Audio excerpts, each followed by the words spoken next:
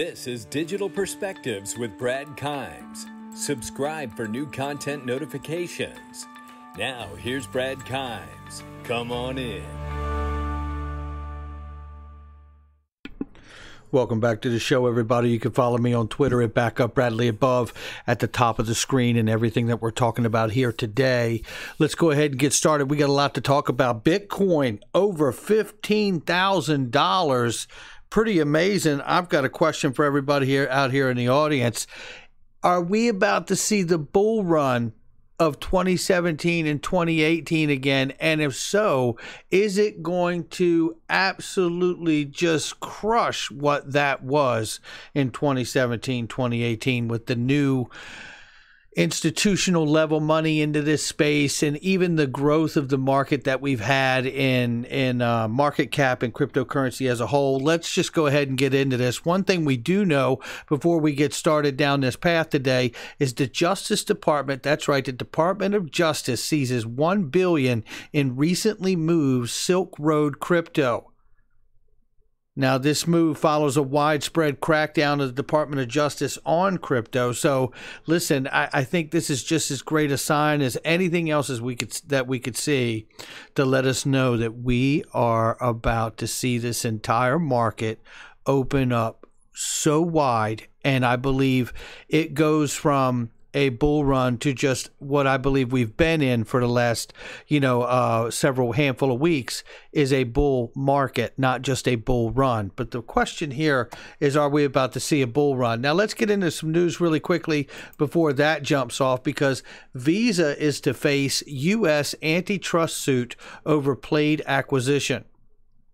Now this is interesting because you know, these big conglomerates out here, and this conversation, as far as I'm concerned, extends a lot further than just Visa and the Plaid acquisition here. And it's to widen their uh, footprint when it comes to payments in the digital payment space. So that is something we will keep an eye on. But I think this question of antitrust issues goes much further than just Visa and Plaid. I think this antitrust issue should extend into the Twitters, the Facebooks, and things of that nature that are absolutely so big. I would like to see them even uh, busted up a little bit. Wouldn't hurt. Wouldn't hurt at all. Uh, and I think we get some more competition in the spaces, what the space could really use, and then we'd see, uh, you know, a decrease in uh, censorship because whether I'm for whatever's being censored or not, I don't think anybody should be censored. That's the whole point. We get the best out of one another when we actually give each other a voice. And that's really what freedom of speech is. And that's why, just real quick, while I'm on that soapbox, why I've pushed in, in this morning's video and said, you know, we need blockchain voting. We need an immutable ledger when it comes to voting. This has been an absolute circus of epic proportions. And let's face it, ladies and gentlemen, it's 2020. This shouldn't happen. And to tell you the truth, look, I, I you know, I don't really uh, subscribe to either of the major parties for political affiliation. But the thing is, it's scary to just see what is taking place. And I've seen it on both sides. And it's just as an observer of this as a citizen in the U.S., there's got to be a better way. And I think we all know that there is a better way. More so, and more consumers are. Listen to this about the acquisition here from Visa really quickly. It's 50 seconds. Let's catch this and then we'll move on with the rest of the news. By the way, PayPal news coming up next. More and more consumers are using apps on their phones to make payments. Visa is now making a big investment. The company announced it would purchase Plaid. The cost 5.3 billion. One in four people use the financial technology company, which connects their bank to an app like Venmo or Robinhood. The president of Visa tells Fortune fintechs are clearly reshaping financial services, and Plaid is unquestionably the leader in this space. The company says the deal will help expand its traditional debit and credit card solutions into a broader set of money movement services. 3.4 billion people use Visa's debit card services globally.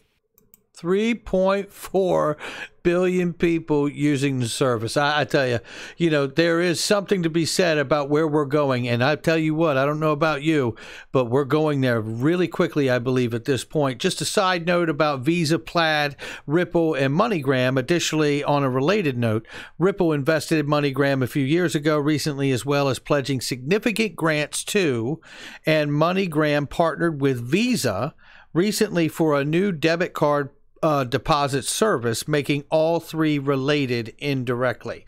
Just wanted to drop that on everybody so you knew that there was a connection, uh, whether it be directly or indirectly. We like to keep an idea on all these things. Now, let's change gears and go to PayPal and cryptocurrency and the terms of service and the things that we need to know about. What some of the key takeaways here you need to understand if you buy crypto on PayPal which is great. And it's opening up to 300 million users. I think it is nothing but upside for us as crypto holders. 20 million of those 300 million users are also merchants. Now, merchants aren't going to accept Bitcoin or XRP or Litecoin, okay? But what it is going to do is give you the opportunity to buy crypto, hold the crypto, sell it, flip it back to cash, and then spend that crypto with a merchant, if you will. So, and they'll get the cash that they want. But what you need to understand is one, there's no private keys issued. So it's just like if I were to send you money because you bought, I don't know, a, an old soccer ball I had, right, or an, or an old car, and I I PayPal'd you the money, and let's say it was just a clunker, right? I just paid you five hundred or thousand bucks for a clunker, and I send it to you PayPal. When you sign into your PayPal, that money's there, right? That money's there, and there's no uh, code or secret key that you need. It's going to be the same approach with your crypto. You're not going to hold any private keys. They'll hold the crypto, but they do they do uh, express in the language that you own the crypto. They're just holding it in the PayPal app for you as they would the money that somebody, I or somebody had sent you for a clunker car, right? So they're guaranteeing you that the money's there as long as you have your account.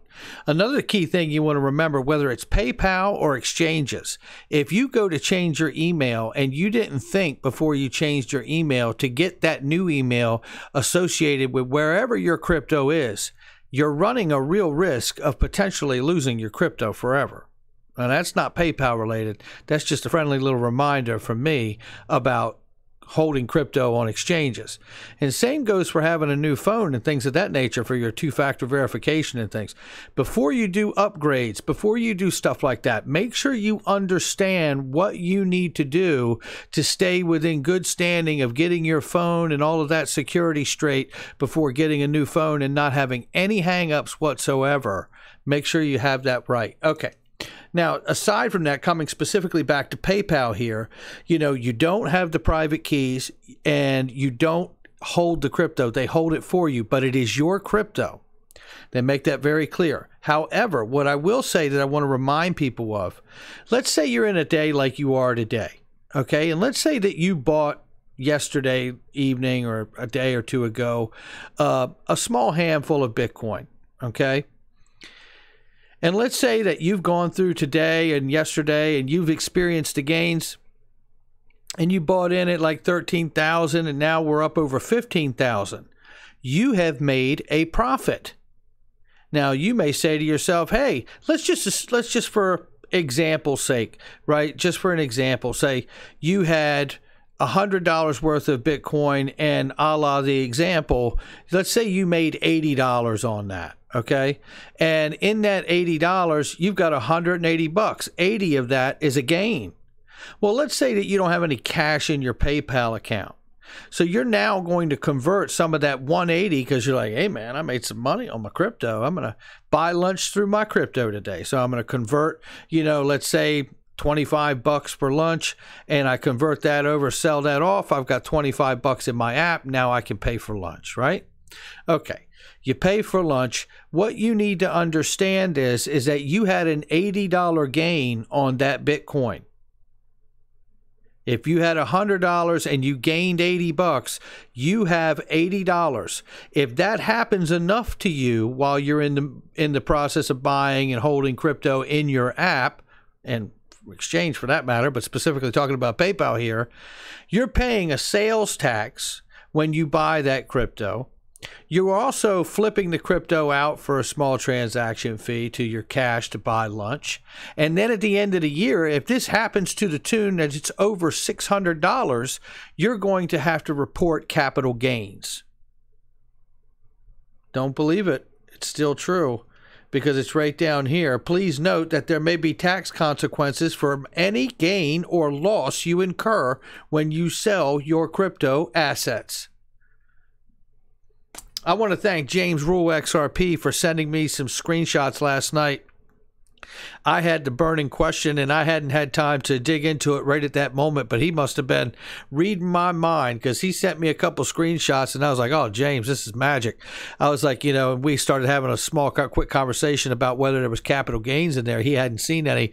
It caused me to dig down deeper on it today. And then I found this. And this, I feel, is enormous and you need to know it and you need to make sure you understand it because the more you take and flip your crypto as you buy it and hold it for returns and gains, and then start to cash some of that out because like, hey man, I don't need to spend my own money. I could spend some of this this money I've made that's like free money off the Bitcoin I was holding. You know, just be careful and make sure you understand that there are tax consequences that you will be responsible for at the end of the year. Now, what I haven't found so far looking through this information is most exchanges will give you a printout of all your buy, sell, hold, and all that information so you can actually file all your transaction data for your tax info. Uh, I haven't seen that here, although they do tell you that Paxos Trust Company and maybe other pro- providers will help them with the crypto buy sell side and all of that. So uh, it, it, remains to be seen as if they will provide an end of year statement. But it seems to me they have absolutely taken their self out of the equation with that line that I've got highlighted right there for you.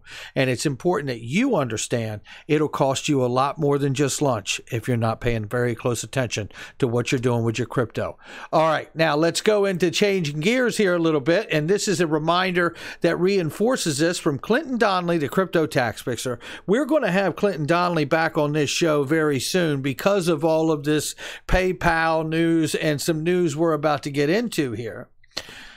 And, you know, it's just good to stay up on these things. Things are changing very quickly. He says any attempt to introduce cryptocurrency into day to day commerce for, uh, faces significant obstacle in the form of U.S. tax system. I'll say that's true. There you go. Amen.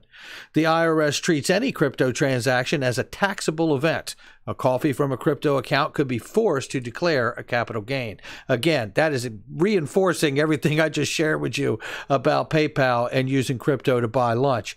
Now, Barry Silbert, shout out to Barry Silbert, and Grayscale Investment Fund, which is kicking major butt over there. The US dollar is collapsing in value against Bitcoin today. Well, you know, we did make that correlation. You know, Cryptopolis was on the show and he made that correlation and shared with us that he sees the correlation between the dollar index, the Dixie, the dollar index, which shows that when the dollar's strong, crypto's down. And when the dollar is not is weakening, we see crypto take off. And he is pointing to that today. So shout out to Barry Silbert. Come on in. Bitcoin hit $15,000. Let's get into this conversation because you're going to like this one. So shout out to iTrust Capital, guys. Check them out for an IRA, crypto IRA. They're the best in the business. Bitcoin $15,030, Ethereum $409, XRP is 24 cents and currently falling like a manhole cover from the sky. but here's the question though, okay? So here's the question and the question is like this is a chart from Bitcoin. This is a all-time chart back from 2013 and on up to today. And what I looked at here was simply this. When we had the bull run of 2017 2018. Okay, we had the price there on December 17th was $19,365.49.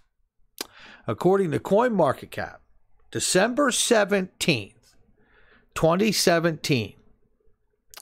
Now, Bitcoin has always appeared to be, you know, it not appeared, it has been the leader in in this space and it is the brand awareness crypto that most people use synonymously with referring to all cryptos.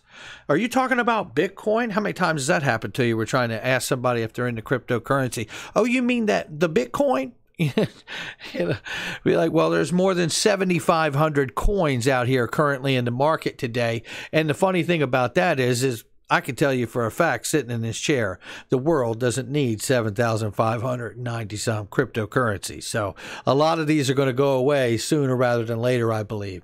And the good part to that is, is that we're going to see, I believe, as we get this designation that whatever it is, I believe will help XRP gain ground and really find its place and have that designation classification that will help that particular asset get the use case utility that it needs to help really drive the value. Now, coming back to Bitcoin, December 17th, $19,365.49. What's interesting to me is, today we're over 15,000. And again, as I just showed you, XRP is not responding. Yeah, dead on arrival, it looks like. Well, the reality is, is I'm being tongue in cheek because I don't believe that for a second. Because when I look at the charts and history, I come here and I go, okay, let's go. So we go to the chart, the XRP chart. That was December 17th for Bitcoin. When I look at XRP, when it peaked out at $3.82, I think it was 84, but you know what? I'm going to leave the two cents to whatever. But who's arguing over details? But the reality here for me is simply this January 4th, 2018, we had the high of XRP not on the same day as Bitcoin, but in fact, what we saw was uh, it ended up being 19 days after Bitcoin's peak. 19,003. And then we saw that on December 17th. And then on January 4th, just 19 days after, XRP hits 382. Now, I don't know where we are, and we're not able to determine just as of yet are we back in that moment. But it does look like we are leaning hard into a run for Bitcoin. It is well above the uh, technical analysis, uh, support and resistance, and it's really pushing hard at this point. So, you know, my question is is one are we on the precipice of a massive bull run as this bull market is beginning, are we going to see a bull run ensue here? And if so, will we see that lagging indicator just like we did in 27, 20, uh, 2017 and 2018, where we see like a 19 to 20 some day window after Bitcoin hits a peak, and then we see XRP push to its peak? You know, uh, you know, I don't know. History doesn't always repeat itself, but at the very least, it certainly rhymes. Okay. So th- these are things to certainly look out for, I believe. So when I look at that and I count, you know, okay, count out, you know, okay, we got to pay attention here to what goes on because if Bitcoin goes to that high again, you know, will it push through that high or will it pull back, right? Will it find resistance there or will it find, you know, support and more buying power? That's going to be the interesting thing. And one of the other things we will look at that as we do that is the dollar strength while all of this is happening very key component as Cryptopolis, Cryptopolis has pointed out. The other thing I want to ask you is, is that, you know, in just another 20 days or so, uh, or after November 20th, so really in another 15 days, we had the Federal Reserve back on October 23rd propose a new rule that changes not only the amount that has to be uh, uh, I guess, shared or revealed uh, from $3,000 to $250 for any transfers that go outside the United States, lowering the threshold. But they've also, in that same proposal, Financial Crimes Enforcement Network, FinCEN, and the Federal Reserve have made a proposal to widen the agency's definition of money to explicitly include cryptocurrencies. November 20th, it'll be 30 days. It says the Fed is seeking public comment due within 30 days of the proposal being published in the Federal Register. the former logbook of the U.S. government, individuals can provide feedback online via email. My question here is is that we're, you know, like I said, November 20th, it'll be 30 days from the date that this article was published. I don't know if it's a 31 days and the definition is amended, but it does sound like we're very close to that kind of a window there. It's a tight window that once they get the public comment uh, closed off after 30 days, they're pretty much going to do what they're going to do, which is expand the definition, it looks like. And when they do, what does this chart look like? What will this chart look like? If they expand the definition of money in the Federal Reserve and FinCEN to explicitly include cryptocurrencies, where does Bitcoin stop? And where does XRP start? And what does this market look like when there is clear away definition from the Federal Reserve and the Financial Crimes Enforcement Network that cryptocurrency is money? All right, guys, that's going to do it for me. Make sure you hit the like and subscribe. Something is afoot, and it's nothing but upside for anybody in crypto from where I'm sitting not financial advice. Hit the like and subscribe. Make sure you share with somebody you know. Leave a comment below and check out all the links in the comment section and the uh, uh, description box for everything that you may want or need. It's all products and services that I've used, and they are vetted links to really great companies. So make sure you check them out. The other thing I wanted to tell you guys is while this is happening and crypto is starting to boil, about to boil over, make sure you go sign up for Link to L I N Q T O, Linqto the premier company, private investing made simple. Make sure you go over and sign up for them. They are the premier company for private equity and blockchain and crypto. It's hands down. If you're interested, sign up. You do have to be an accredited investor, but you don't have to be an accredited investor to join a great community. So make sure you do that too. All right, guys, take care. I will catch all of you on the next one.